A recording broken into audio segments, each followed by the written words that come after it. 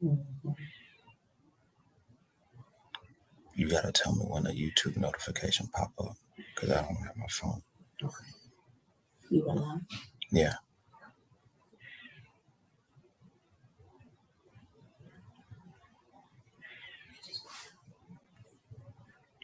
Facebook is live too. Okay. They are.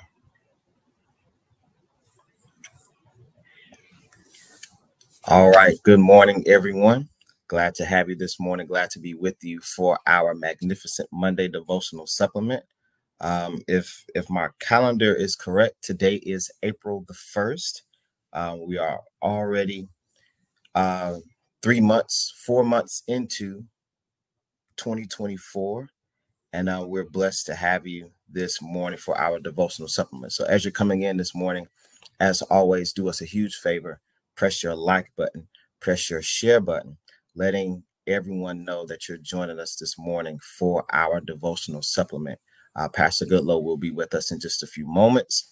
Um, we are having an awesome time uh, over this holiday break. We'll be preparing to get on the road uh, right when we finish with you guys this morning. So keep us in prayer as we travel back to New Orleans.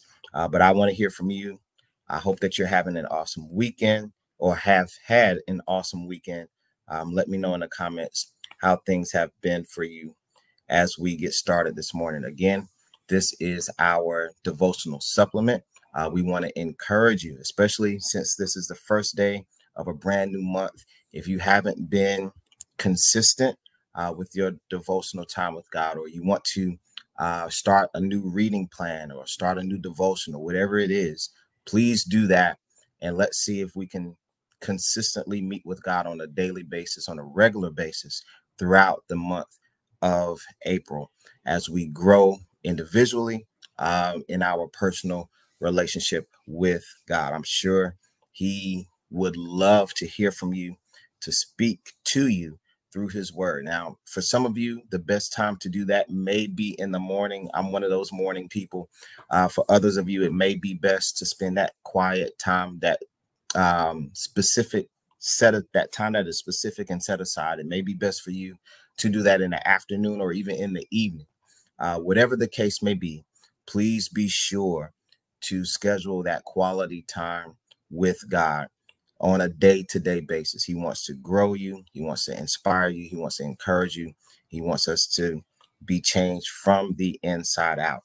So, as we're waiting for Pastor Goodlow to join us, here he is. He's getting connected. I'll give him a few moments to get set up um again again we are we are planning we're planning for our uh church school uh summer camp our church school summer camp will take place the last two weeks of june and the first two weeks of july the last two weeks of june and the first two weeks of july so please continue to uh keep us in prayer as we uh prepare for those students that will be able to serve us uh, the camp is $100 per week or $150 for the two weeks of June or $150 for those two weeks in July. You definitely want your child to be there ages 5 to 12. Uh, they will take care of everything from 8 a.m. to 4 p.m. Lunches included. They'll be doing math, uh, science, um, STEM activities, also various um, not nature trails, um, visits and uh, campus tours. Good grief. If they're going on campus tours that early, uh, it's going to be exciting. But you definitely want your children, ages 5 to 12, to be a part of it. Um, so we're glad that you're here with us. I'm going to bring in Pastor Goodlow at this time. All right. Good morning, Pastor. You all right? Uh, yes. Good morning. Good morning. But uh, I couldn't get set up on my laptop. Mhm. I don't know why, but it came through the email. The link came through on my phone Oh, wow. email, but not on my laptop email. So I got you. I can't see the uh, screen like I normally do. We'll take care of you. All right. Good morning. Good morning, everyone. Good to see you this morning on this magnificent Monday. Good morning to those who are on the prayer line. All right. All right. This is our magnificent Monday, the first Monday in the month of April, the first day in the month of April. We're already uh, one quarter of the way uh, through the year 2024. We're in our second quarter, starting our second quarter today. So, good morning to each and every one of you. I hope all is well with you. Hope you all had a beautiful resurrection weekend. Uh, I know we had a blessed time, a wonderful time at Oakwood University, celebrating um, our homecoming. Uh, awesome time there. So we thank God for being back at home, though, back at home with the wife and uh, family, uh, church family here. All right, so we're going to uh, welcome each one of you. I see Sister BJ Ashby, Charleston, South Carolina. All right, Brian T. Booker. All right, Tammy Tucker. All right, Brother Frederick McLean, Durham, North Carolina. Tony Dyer, Tobago. All right, Elaine Davis. Phyllis Wise, Lafayette, Louisiana. Frederick McLean. All right, Sister Hodges, Virginia Hodges, Las Vegas. All right, Betty, my cousin Betty Davis Harris, Huntsville, Alabama. Mary Wells, Las Vegas.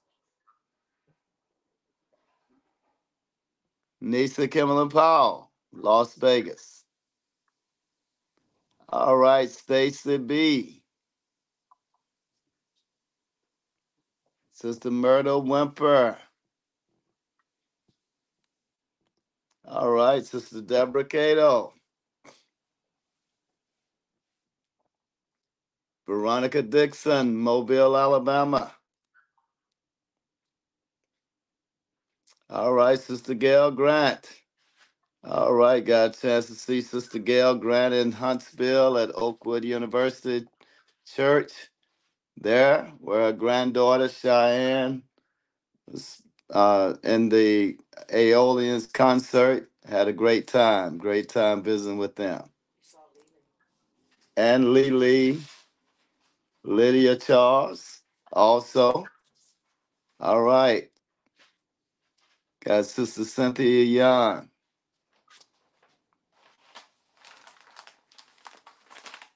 Catherine Knighton. All right. Pastor Benjamin. Oh, wait a minute. Oh, that's Stephanie. Stephanie Francois. Yes, and uh, Stephanie got a chance to visit with her sisters and brother and family there in uh, Huntsville. All right, Sister Yvonne Custard and Brother Herman Custard.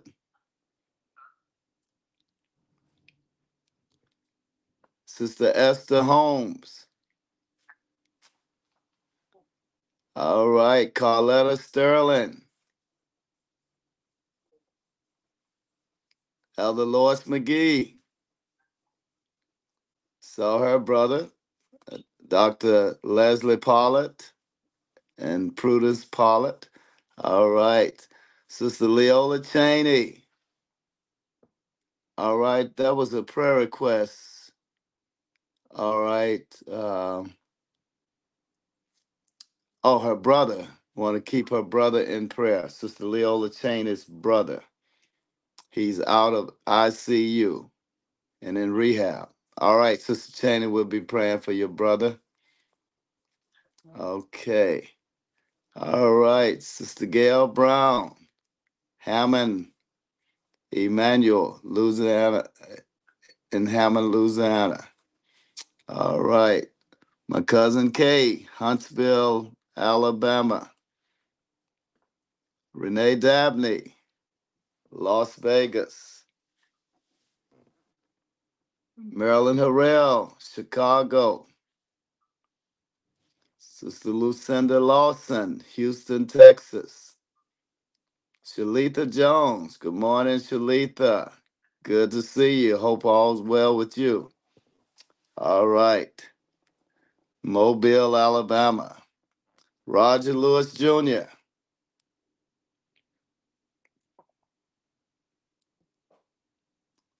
All right.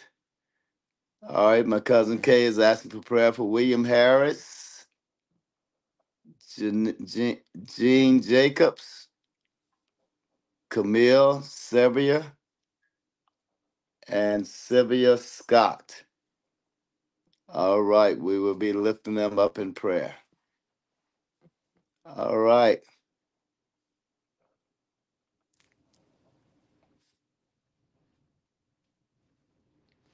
All right. Thank you, Sister Gail, for the word of appreciation. We we we just want to show our support and love for our students. Let them know when they go off to college, we have not forgotten them. We are still a part of their family, and we want them to know that we support them and want to encourage them in their uh, uh, educational pursuits. All right, all right. All right, so we're going to get ready to get started. We want to welcome you again. If you are on uh, online, if you could push your share button, your invite button, invite someone to join you uh, this morning. All right, so let's get ready for our time of prayer, our season of prayer.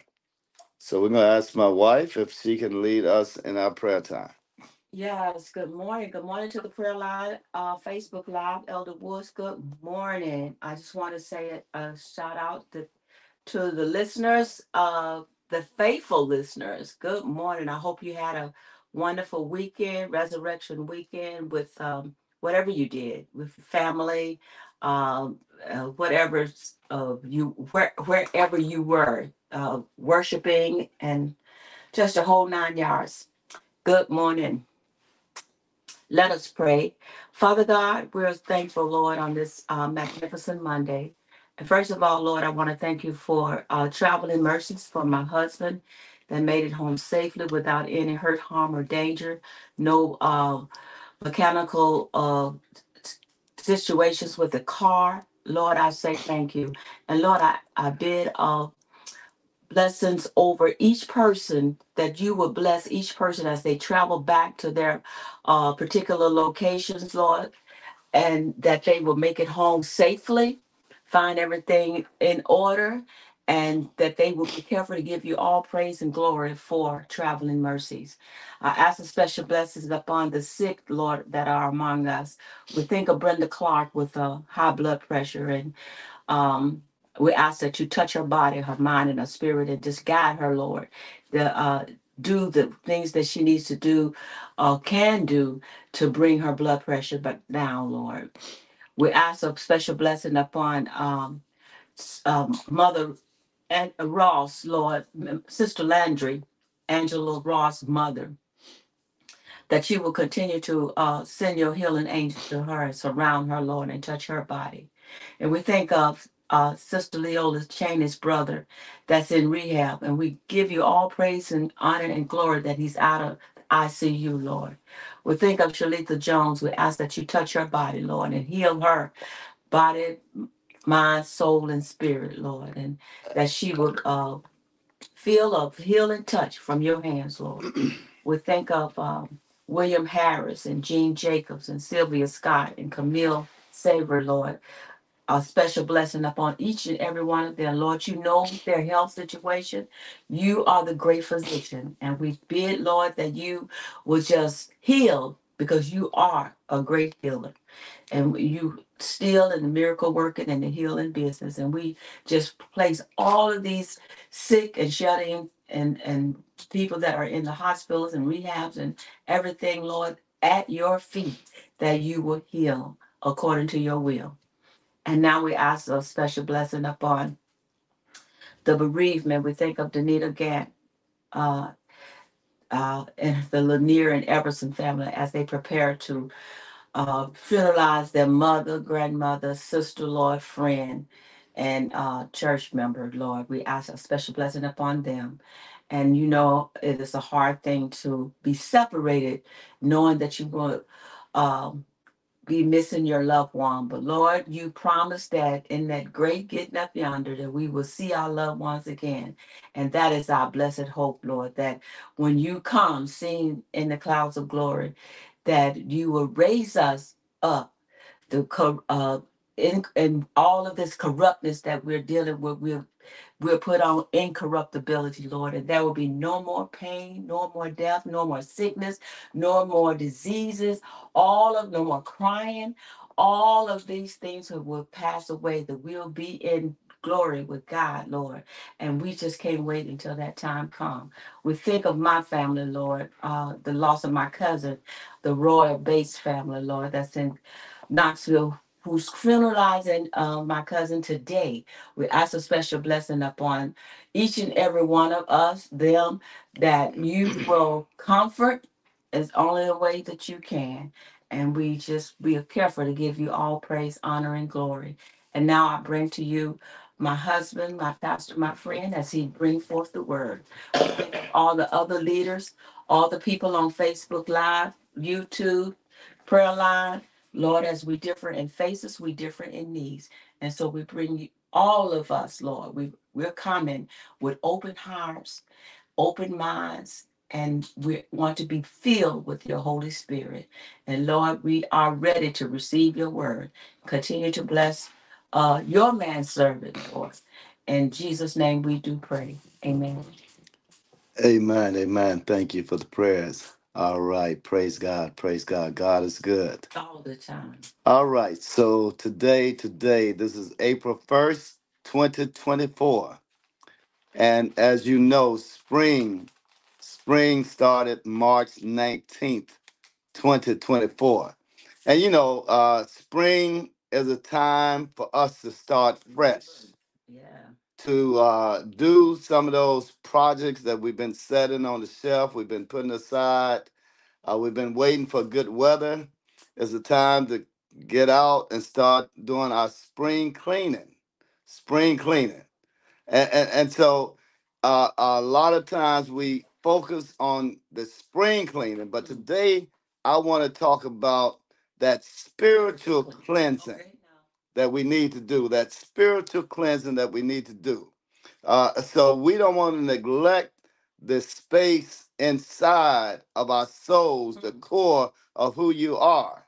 So, so, so, so as we get ready to do our spring cleaning, let's also do our spiritual cleansing. Hmm. Our spiritual cleansing. And let's talk about that. So the first thing you got to do, you got to take an inventory. Inventory. Do a spiritual inventory. Uh, uh, uh, be honest with yourself. There are some things in our lives that need to go straight to the trash.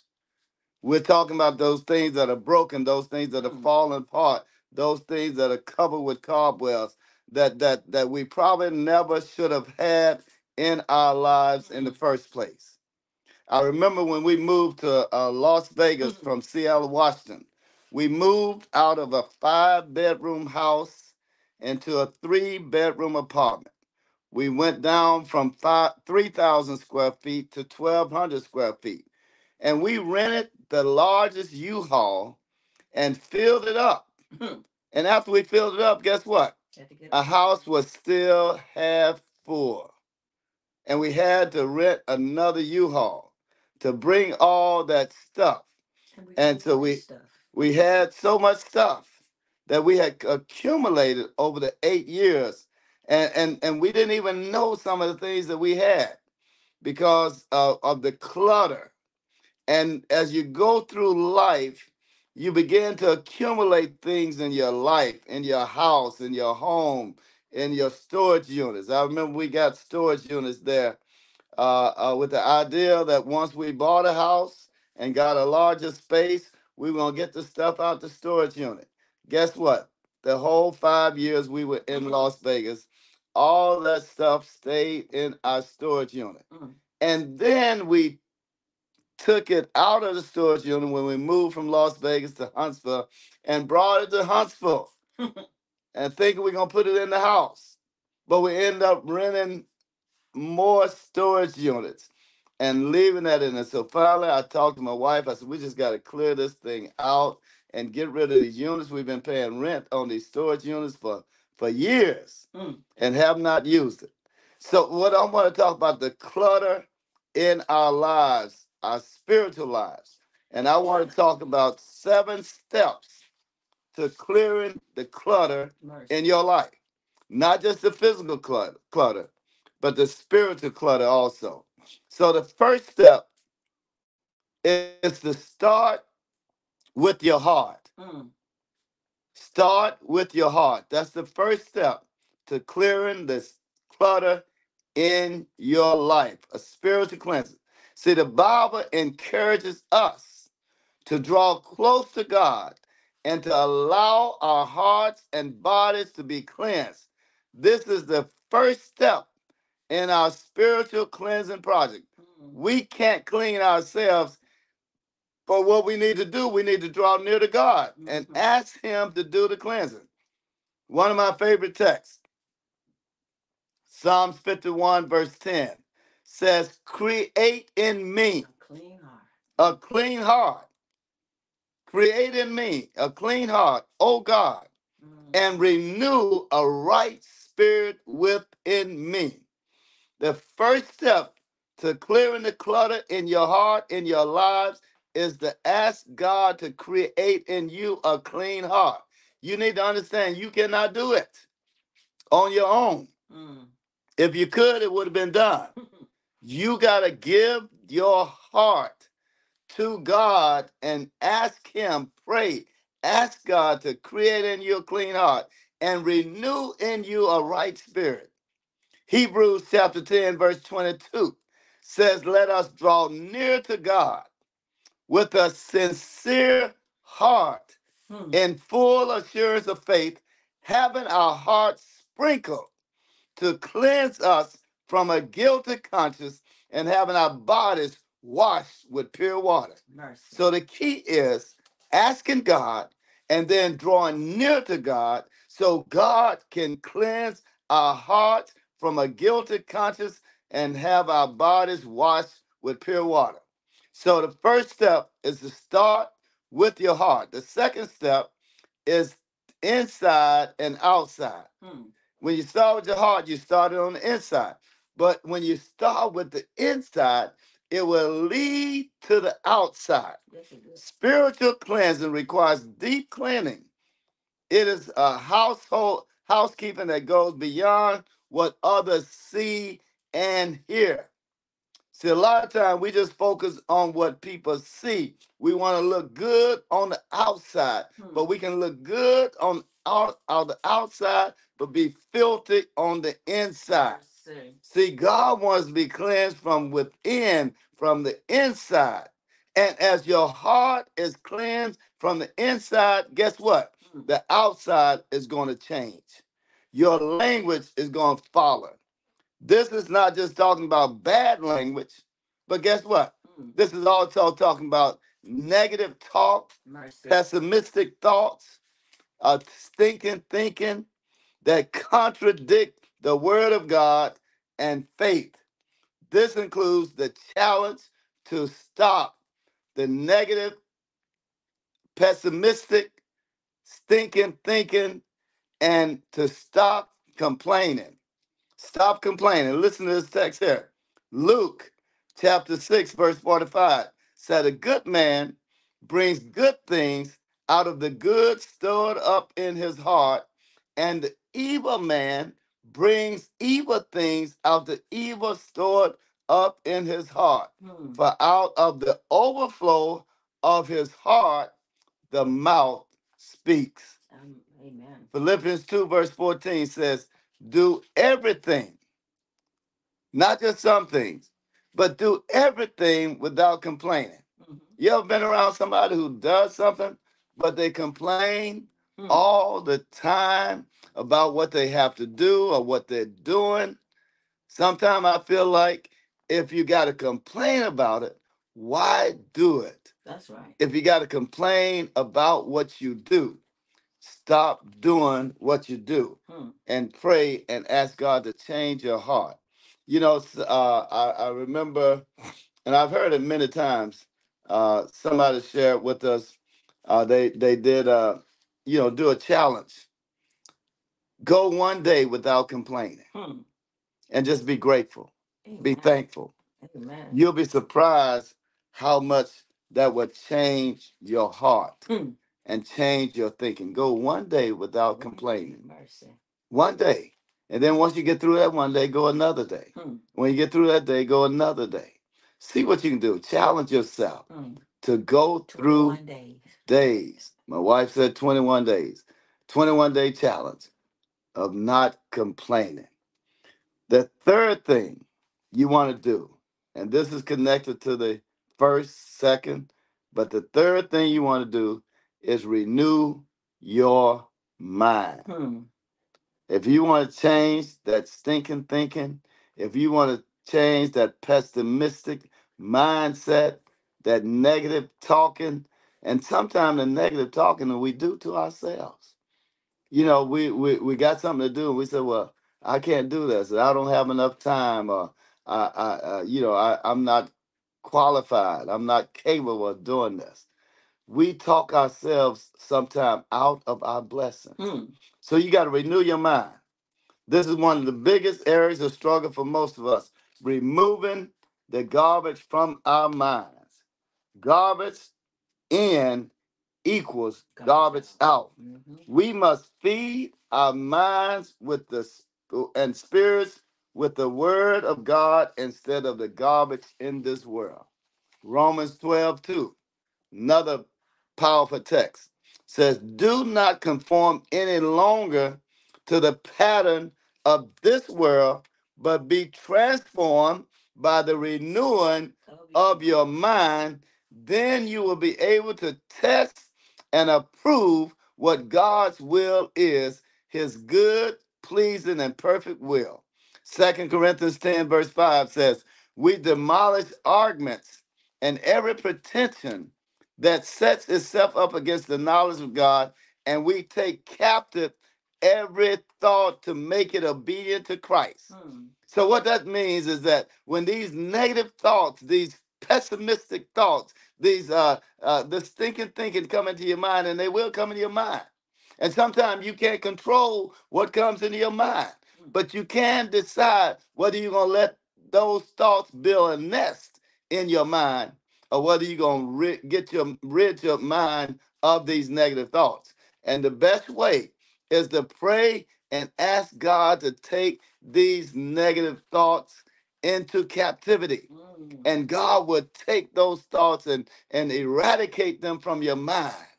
But you got to pray Hmm. when they come. Don't wait. Don't dwell on them. Don't spend time thinking about what it would be like if you uh, uh, followed those thoughts or uh, fulfill some of those desires that uh, that evil desires that come into your mind.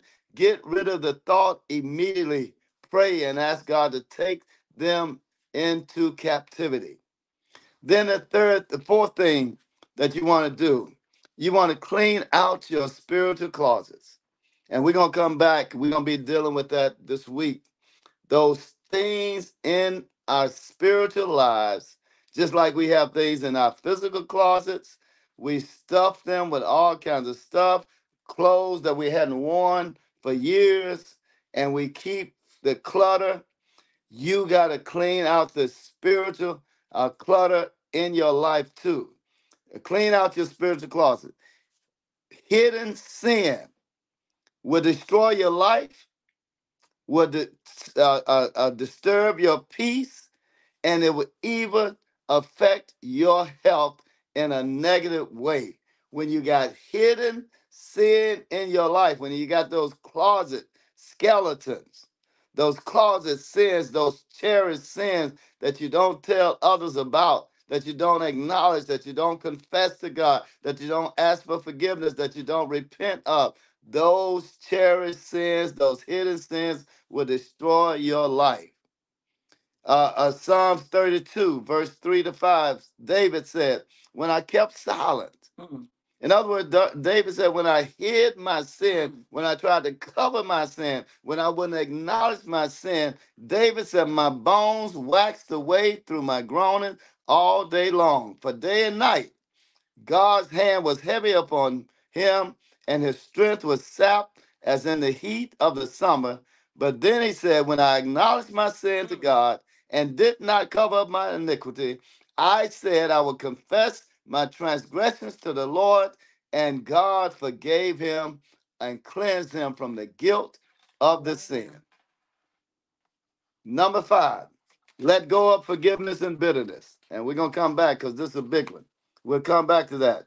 Hebrews 12 says, Let us strip off every weight that slows us down, especially the sin that so easily hinders our progress. Ephesians 4, verse 31 and 32 says, Get rid of all bitterness, Mm. rage, anger, brawling, and slander, along with any other form of malice. Hmm. Be kind and compassionate to one another, forgiving each other, just as Christ has forgiven you. Remove unforgiveness and bitterness. And like I said, that, that's going to be one, we're going to focus on that one day. Number six, invite Jesus into your daily walk Hmm. invite him. First Corinthians 1 says, God is the one who invited you into this wonderful friendship with his son, Jesus Christ, our Lord. So invite him in your start your day with Jesus Christ.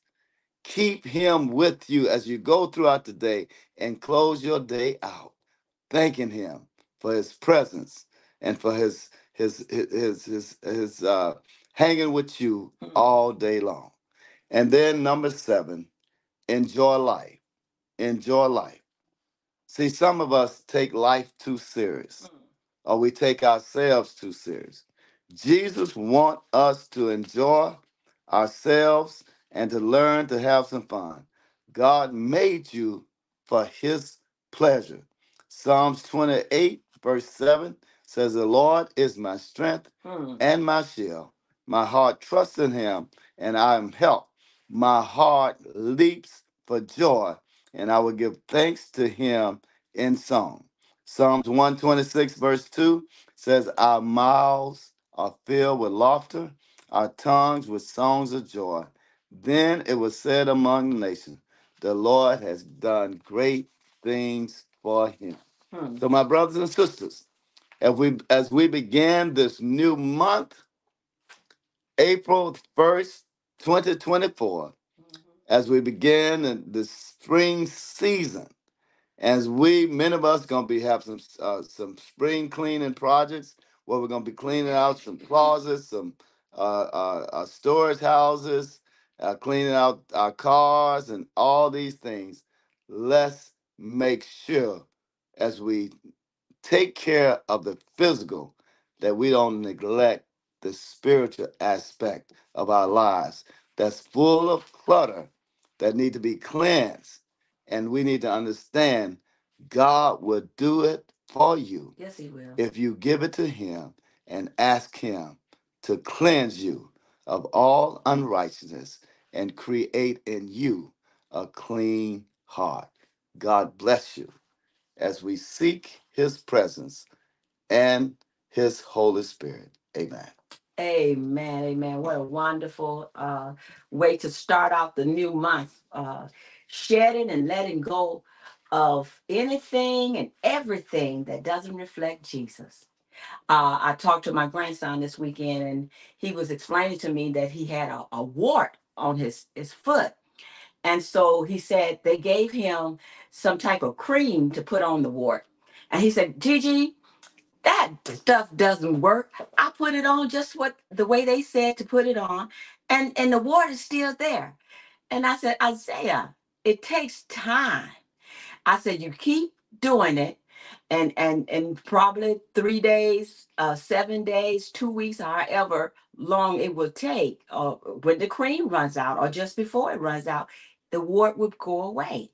And that's the same way as we are that we are when we're making a change in our lives. We expect uh, things to change just as you know we do something that one day we think our whole life will change but it's a process of shedding and letting go of whoever whatever uh, anything that hinders us and that does not reflect Jesus. So just don't beat up on yourself.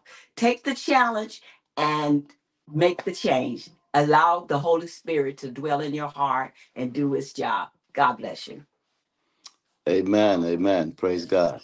Thank you. Amen. Amen. Thank you for sharing those those principles, Pastor. I think Mhm. um, as we start each morning, our motto is uh, that we're here to exalt the name of God, empower the people of God, and enlarge the territory of God. And I believe um, if if we commit these to to our daily lifestyle, it will it will bleed into every one of those points of our our principle of our motto for this devotional supplement.